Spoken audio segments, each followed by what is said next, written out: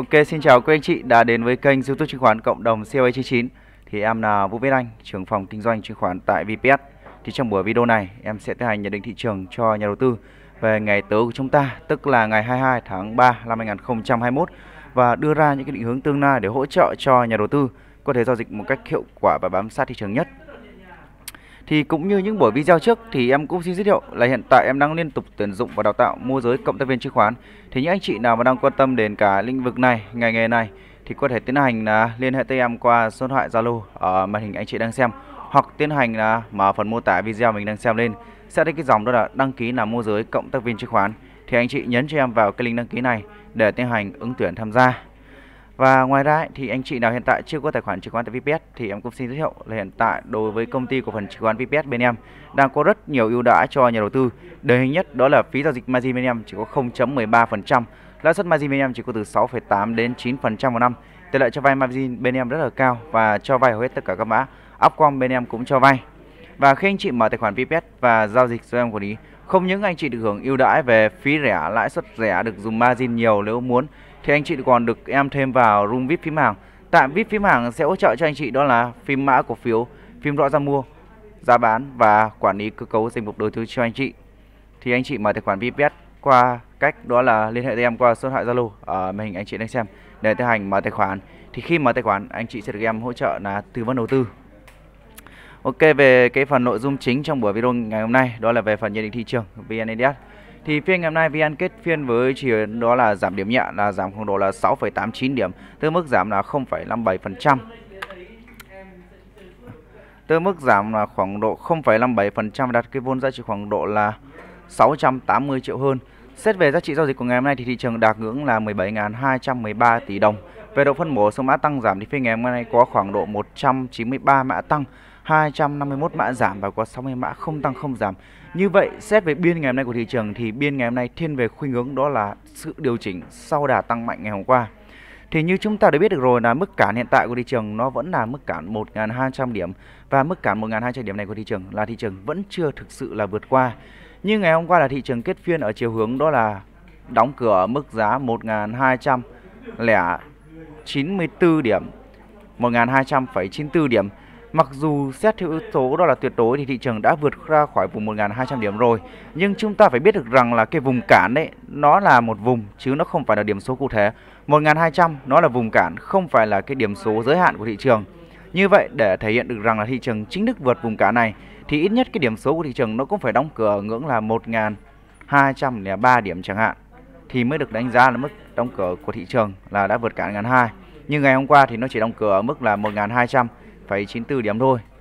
Và ngày hôm qua là thị trường cũng đã mở gap và khi thị trường mở gap thì nó sẽ có cái xác suất rủi ro, đó là rủi ro của sự lấp gap và cái mức hỗ trợ cho thị trường em đưa ra cho anh chị trong những video trước thì em cũng đã đưa ra cho anh chị rồi. Video ngày hôm qua em đã đưa ra cho anh chị cái mức nền hỗ trợ đó là mức nền hỗ trợ cuối cùng của nó là vùng 1170 sẽ là vùng hỗ trợ cuối cùng của thị trường. Khi nào mà thị trường, khi nào mà thị trường chưa thủng mốc 1170 này, tức là thị trường của chúng ta vẫn ở mức mua được, vẫn ở mức đầu tư được.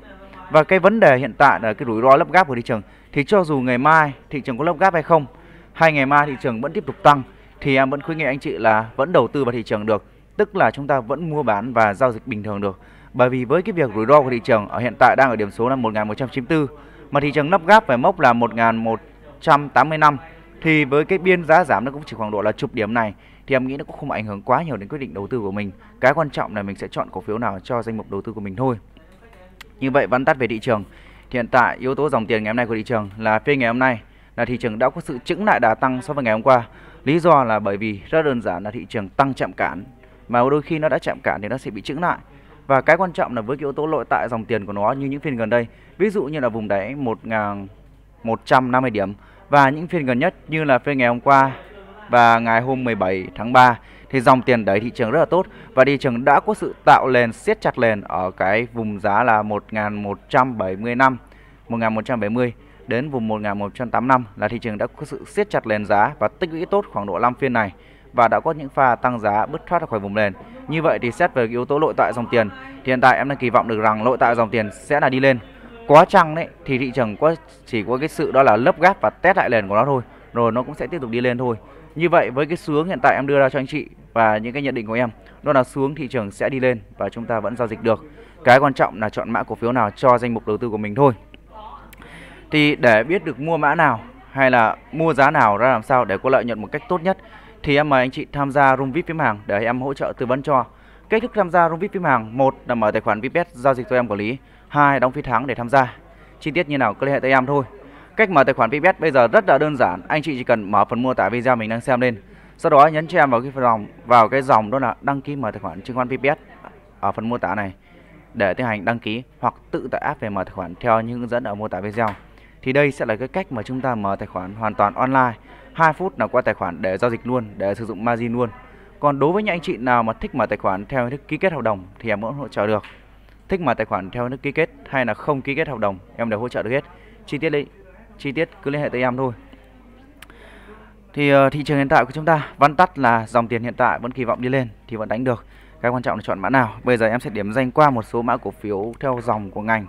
Đầu tiên sẽ là con CTG của con Vietinbank. Đối với cổ phiếu CTG thì như video ngày hôm qua em đã đưa ra cho anh chị là CTG hiện tại đang yếu tố mở gap và khi nó mở gap nó sẽ có yếu tố đó là lấp gap, đặc biệt là con CTG đã vượt ra khỏi vùng cản đỉnh cũ ngày trước ở cái dịp tháng 1 năm 2021 của nó. Lên nó sẽ có khuynh hướng lấp gap và cái gap này nó cũng đồng thời là cái vùng để nó test lại cái vùng nền cản đỉnh cũ của nó ngày trước. Đây. Cái vùng gap này nó mở cũng đồng thời là cái vùng cản đỉnh cũ ngày trước của nó thì bây giờ nó sẽ test lại cái vùng hỗ trợ này để tích lũy lại sau đó sẽ tiếp tục đi lên như vậy thì con sóng đối với cổ phiếu CTG thì em vẫn kỳ vọng sóng của nó sẽ là sóng lên và nó sẽ có sự điều chỉnh tích lũy lại ở vùng này. Để anh chị nào chưa có hàng đối với CTG thì nên kiên nhẫn chờ nó lấp gáp để tạo điểm mua. Cái này thì phải quan sát. Tiếp theo là đối với cổ phiếu MB Bank. MB Bank thì em nghĩ cũng không có cái gì để nói bởi vì ngày hôm nào cũng vậy, nó có xanh đỏ đan xen và luôn xanh đỏ đang xen với cái kỳ vọng đó là đi lên. Vol của nó cũng không có quá nhiều cái sự tạo đột biến, chứng tỏ được rằng là lực bán của con MB Bank này hiện tại vẫn chưa xuất hiện. Nên cái kỳ vọng đối với cổ phiếu này vẫn là gia tăng về giá trong tương lai. Sang tiếp theo một cổ phiếu khác của dòng banh đó là cổ phiếu STB STB thì nhiều anh chị đang bảo rằng STB nặng mông, nhưng em thấy rằng là nó không phải như vậy. Bởi vì phiên ngày hôm 17 tháng 3 là nó đã có một phiên break mạnh ra khỏi cái vùng nền của nó. Em xin lỗi, không phải là break mạnh ra khỏi vùng nền, mà chính thức là nó đã break mạnh thôi và nó đang trong quá trình là xử lý cạn nền cuối cùng của nó ở quanh mốc là 19.5 đối với việc nó đã tăng mạnh thì nó sẽ cần phải có những cái sự điều chỉnh, test lại, điều chỉnh kỹ thuật trong vòng một, hai phiên thì nó là chuyện bình thường. Và con STB cũng vậy, hai cái pha điều chỉnh lại sau cái phiên tăng mạnh của ngày 17 tháng 3 thì hai phiên điều chỉnh này chúng ta thấy được rằng lực bán không có quá nhiều, chứng tỏ rằng là dòng tiền lớn hiện tại vẫn đang kỳ vọng đối với cổ phiếu này đi lên. Lên anh chị nào có hàng thì theo em là vẫn cứ tự tin mà cầm thôi, con này không sợ bị gãy đâu mà no. Tiếp theo nữa đó là sang cổ phiếu TP Bank. TP Bank thì cũng như những video trước thôi. Hiện tại thì TP Bank trong những phiên gần đây, dòng tiền không ngừng gia tăng đối với cổ phiếu này, nên hiện tại trong thời gian tới thì em kỳ vọng rằng sẽ cổ phiếu này sẽ bật lên thôi. Anh chị nào chưa có cổ phiếu này thì có thể mua nó cho cái danh mục đầu tư của mình. Sang tiếp theo là con Liên Việt. Liên Việt thì em vẫn kỳ vọng sóng lên anh chị nhé. Liên Việt thì có cái phiên break rất là mạnh ở ngày 12 tháng 3 rồi. Đây là cái phiên tạo lại nền của con Liên Việt. Thì đối với cái nền này thì hiện tại em vẫn đang kỳ vọng rằng đây là những cái pha sideways thắt chặt lên với kỳ vọng đó là sóng tăng. Sang dầu khí một chút thì chúng ta sẽ có cổ phiếu của PVT. Dầu khí ngày hôm qua thì nó chịu ảnh hưởng bởi cái đà giảm của thế giới. Lên rằng là phiên ngày hôm nay dầu khí hơi có cái chiều hướng tiêu cực một chút đó là bị giảm. Nhưng đối với cổ PVT này hiện tại em vẫn đánh giá đó là vẫn tốt. Vẫn tốt lý do là hiện tại nó đang nằm trên chính vùng nền hỗ trợ của nó. Và phiên ngày hôm nay PVT mặc dù giá là giá giảm khoảng độ là 1,93% nhưng chúng ta có thấy biên giá của con PVT vẫn là biên giá xanh, vẫn là biên giá tăng trong phiên. Cho thấy được rằng là yếu tố cung cầu ngày hôm nay vận động trong phiên của con PVT vẫn đi theo một hướng đó là đi lên trong phiên và nó kết phiên với chiều hướng đó là biên giá tăng đi kèm với vốn gia tăng cho thấy dòng tiền hiện tại vẫn đang hấp thụ tốt đối với cổ phiếu này nên cổ phiếu này trong thời gian tới thì em vẫn sẽ kỳ vọng là đi lên thôi. Sang một chút cổ phiếu khác đó là ví dụ như con BSR. BSR thì thực sự là BSR hiện tại đang rất là khỏe rất là khỏe, lý do là bởi vì nó đã có sự tạo nền đi ngang, tăng giá mạnh với vôn cao và tạo nền đi ngang, và tạo nền đi ngang với vôn rất là thấp. Anh chị có thể thấy được rằng nó đi ngang, siết chặt nền khi mà một cổ phiếu hay là một thị trường bất kỳ mà nó tăng mạnh mà sau đó nó điều chỉnh, mà cái sự điều chỉnh của nó càng giữ giá bao nhiêu, thì đó sẽ là cái cổ phiếu càng mạnh bấy nhiêu. Ví dụ như con này nó tăng mạnh, sau đó điều chỉnh đi ngang và nó điều chỉnh rất là giữ giá ở cái vùng nền trên của nó. Điều này chứng tỏ được rằng là trong cái nhịp điều chỉnh này nó không có một cái lượng tiền đáng kể nào bán ra, không có một lượng tiền đáng kể nào chốt lời đối với cổ phiếu này. Và hiện tại nó tích lũy đi ngang rất là tốt. Pha hai phiên gần nhất đó là phiên ngày hôm 17 và đặc biệt là ngày hôm qua là ngày 18 tháng 3 thì vôn của con này gần như đang rất là kiệt cho đến lực bán đi quá yếu rồi. Phiên ngày hôm nay thì buổi sáng cũng chịu ảnh hưởng bởi cái giá dầu đêm ngày hôm qua lên nó bị giảm mạnh nhưng kết phiên thì ngay lập tức đã tạo kênh rút chân và nó còn tạo thành cái biên giá tăng trong phiên ngày hôm nay cơ. Và biên giá tăng trong phiên ngày hôm nay đi kèm với vôn ở mức gia tăng rất là cao. Cho nên dòng tiền ngày hôm nay đổ vào BSR rất là nhiều. Lên trong thời gian tới thì em xin kỳ vọng rằng BSR sẽ tiếp tục bật lên theo một cái xuống tăng trong tương lai. Sáng tiếp theo nữa đó là cổ phiếu oai Đối với oai thì phiên ngày hôm nay, như những buổi video trước thì em cũng đã đều báo với anh chị là oai thì vùng hỗ trợ của nó sẽ là vùng quanh vùng 14. Thì phiên ngày hôm nay với phiên ngày 16 tháng 3 thì đây chính là cái hai cái phiên mà oai đã có sự là rút chân lên. Và đi kèm với đó là rút chân với vôn cao, cho thấy được rằng là đang có lực tiền tham gia đỡ giá của phiếu oai này ở vùng giá 14 nên trong tương lai thì em vẫn kỳ vọng rằng nó sẽ sideways tích lũy để đi lên thôi. Cổ phiếu này hiện tại cũng đang rất là mạnh. Anh chị nào mà đánh dầu khí thì lên canh hai cái mã là BSR và oai này cho cái danh mục đầu tư của mình. Sang một chút, nhanh một chút về cái dòng chứng khoán nào đó còn SSI SSI thì hiện tại thì đang bắt đầu có một chút về cái điểm cộng của nó. Lý do là bởi vì nó đã test lại cái vùng hỗ trợ rất là tốt, là test về cái vùng 32 rất nhiều lần liên tiếp nhấn xả về vùng 32 và đợt này khi về vùng 32 thì như cái phiên ngày 17 tháng 3 thì chúng ta thấy được rằng vốn của SSI kiệt đi ở vùng giá 32 này rất là nhiều. Cho thấy được rằng là nhà đầu tư, cho thấy được rằng là nhà dòng tiền, nó không muốn bán cổ phiếu SSI này ở vùng giá 32 và khi nó không muốn bán cổ phiếu này ở vùng giá 32 thì đương nhiên nó sẽ phải kỳ vọng cổ phiếu này ở mức giá cao hơn thì nó mới bán ra và khi về đến vùng 32 thì nó không bán. Và hai phiên gần nhất của chúng ta, đó là hai phiên ngày 18 tháng 3 và đặc biệt là ngày hôm nay là ngày 19 tháng 3 thì SSI đã có sự gia tăng, thì SSI đã có sự gia tăng dòng tiền rất là tốt. Khi phiên ngày hôm nay, vốn của nó đã có sự bật tăng rất là mạnh và đáng kể so với những phiên trước. Cho thấy được rằng dòng tiền của SSI trong thời gian tới sẽ là bật lên.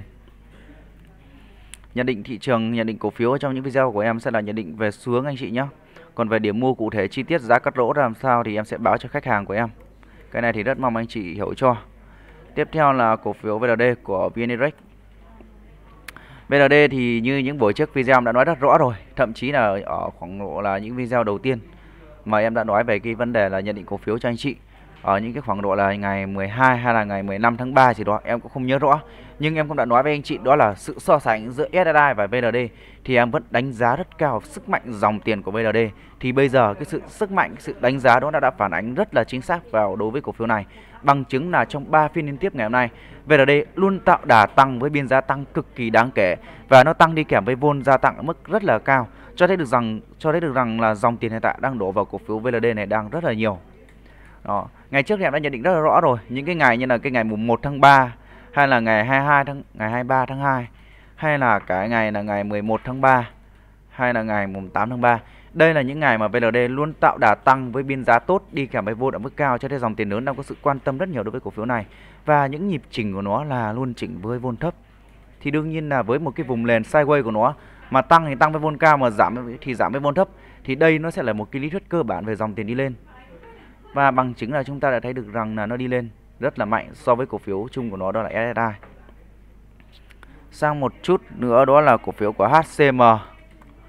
HCM thì thực sự là cũng không có quá nhiều vấn đề bàn cãi bởi vì HCM hiện tại thì đã bật tăng lại rồi và bây giờ nó đang trong quá trình đó là xử lý lại cái vùng cản đỉnh cũ của nó. Thì HCM nếu mà đối với cái phần à, đánh giá để mua mới thì hiện tại thì em không thích lắm, em thích đánh giá mua mới đối với cổ phiếu VLD hơn bởi vì HCM hiện tại đang trong vùng cản. Và đối với việc mua cổ phiếu vùng cản ấy không có nghĩa là chúng ta lỗ. Nhưng mà khi mua một cổ phiếu ở vùng cản ấy thì nó sẽ tăng cái xác suất đó là bứt tốc. Em xin lỗi thì nó sẽ giảm cái xác suất là bứt tốc thành công của cổ phiếu đó hơn là so với những cổ phiếu khác như là VLD bởi vì hiện tại nó đã tăng mạnh rồi. Và nó tăng chưa tạo nền nào gọi là quá đáng kể cả. Và đã, đã tăng chạm về những cái vùng cản đỉnh cũ của nó. Lên trong tương lai thì nó sẽ có những cái xác suất đó là điều chỉnh lên xuống ở quanh cái vùng nền cản này. Do đó thì hiện tại em đánh giá cao cổ phiếu đó là VLD hơn ở cái dòng chứng khoán hiện tại. Với tiếp theo nữa là con SHS SHS hiện tại đang rất là tiềm năng khi mà trong những phiên gần đây. Ví dụ như là phiên điển hình nhất đó là ngày hôm qua, ngày 18 tháng 3 con SHS này đã cho điểm mua theo kiểu sách giáo khoa. Khi mà nó break đi lên khỏi chính cái vùng nền của nó và break lên với vốn gia tăng cho thấy được rằng dòng tiền của con SHS này đã xác nhận đó là dòng tiền để đánh lên. Lên của nó thắt chặt siết chặt lền và nó siết chặt lền đi kèm với vôn thấp. Và đã có một cái ngày đó là ngày 15 tháng 3 gần như là nó rơi vào cái tình trạng đó là không có thanh khoản ở cái ngày 15 tháng 3 này. Cho thấy được rằng là lực bán của SHS hiện tại đang rất là kiệt rồi và những phiên gần đây SHS đã có sự gia tăng dòng tiền tốt.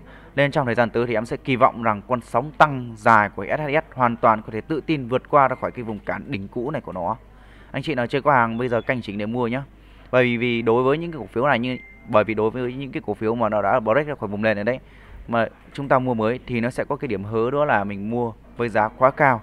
Mua với giá đuổi, lên tốt nhất mình đến canh chờ nó test lại về chính cái vùng nền của nó, như con này là test về vùng nền khoảng độ 28.5 thì chúng ta sẽ canh mua tại vùng giá này đối với cổ phiếu SHS Ok, thì cái buổi video nhận định thị trường ngày hôm nay thì em cũng xin kết thúc sớm tại đây.